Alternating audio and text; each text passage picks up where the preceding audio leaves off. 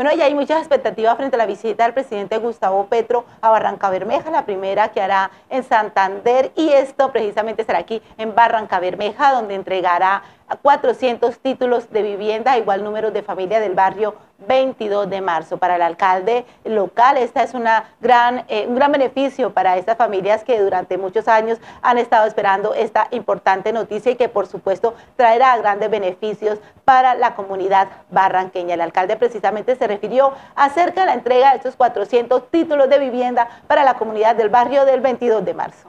Gracias al POT que construimos en nuestro gobierno, Hoy hemos legalizado más de 10 barrios, estamos llevando servicios públicos, legalizando y algo muy importante, entregando los títulos de propiedad.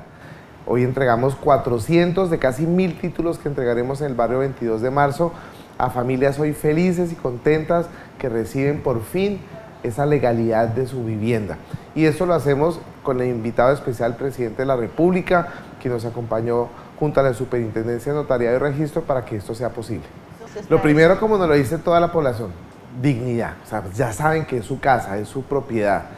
Segundo, seguridad jurídica, porque pueden pedir un crédito hipotecario, pueden transferirla por herencia a sus hijos. Tercero, el barrio se ha legalizado, es decir, alcantarillado, acueducto, algo muy importante, el gas, todo el proceso de las redes de gas que estamos construyendo y que hemos empezado también en la Comuna 3, por dar un ejemplo, en el barrio 22 de marzo, que es el beneficiado del día de hoy.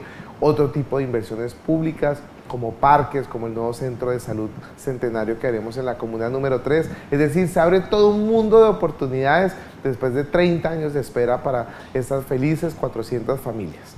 Serán en total mil títulos de vivienda que se entregarán a las comunidades que ya han sido legalizadas por parte del gobierno distrital, las cuales hoy solo se entregarán 400, pero en lo que va corrido el año se entregarán el resto de títulos de vivienda. Como ya les decía, esto traerá grandes beneficios para estas comunidades que durante muchos años habrían estado esperando esta oportunidad de poder contar con su casa propia. El alcalde de los barranqueños también dio a conocer eh, las otras expectativas que se tiene frente a esta visita que hará el presidente Petro a la ciudad Sí, he pedido unos minutos con él, eh, me han escrito la presidencia eh, dándome ese espacio y espero no solamente hablar de ese tema, vamos a hablar de Cor Magdalena, capital Barranca Bermeja, vamos a hablar de hospital al máximo nivel, Unipaz, universidad financiada como todas las demás universidades grandes del país, como la Nacional, como la UIS, también necesitamos esa financiación de la gran transición de energías renovables y de toda esa transición energética de Barranca Bermeja con inversión y confianza en Ecopetrol y en nuestra ciudad. Y algo muy importante, el PAE para todos en Barranca Bermeja. Si cualquier niño, niña o joven tiene CISBEN, debe poder acudir al PAE, debe tener alimentación en los colegios. La alcaldía ya ha dispuesto más de 17 mil millones de pesos para que tengamos alimentación en todos los colegios y espero el respaldo del presidente para que nos ayude en esa financiación.